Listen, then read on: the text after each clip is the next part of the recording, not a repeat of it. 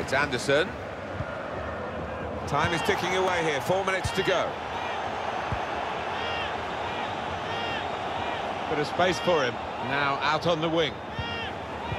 It's a great tackle, he's really been solid today. Got the ball and then going at the opposition with speed.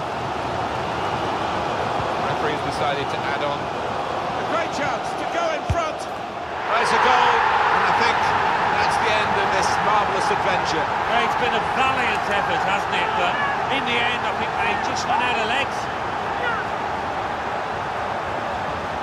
Well, Conor Vieira, Martin, this is the man you want in such a situation. I think he's going to be the match winner with that. Another angle on it here.